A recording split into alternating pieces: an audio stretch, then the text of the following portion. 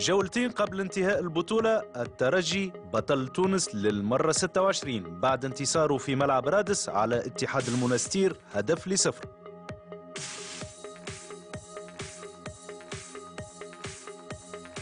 عشرين دقيقة أولى ما ريناش فيها فرصة واضحة والاتحاد كان متمركز كما يلزم. أول محاولة جدية للترجي رأسي العكيشي طالب ضربة جزاء الحكم يأمر بمواصلة اللعب. الترجي يزيد في الضغط. التحام بين الدراجي وكوليبالي اللي يتحصل على إنذار ثاني ويغادر الميدان. الشيء اللي نرفز برشا مراد العقبي احتجاجا على هذا القرار.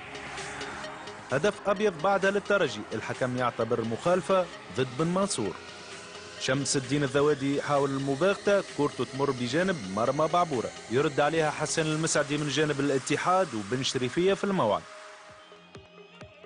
ست دقائق في الشوط الثاني. الدربالي للدراجي يوزع للعكاشي اللي يحط كورة في طبق للرقد اللي يمضي على الهدف الأول للترجي.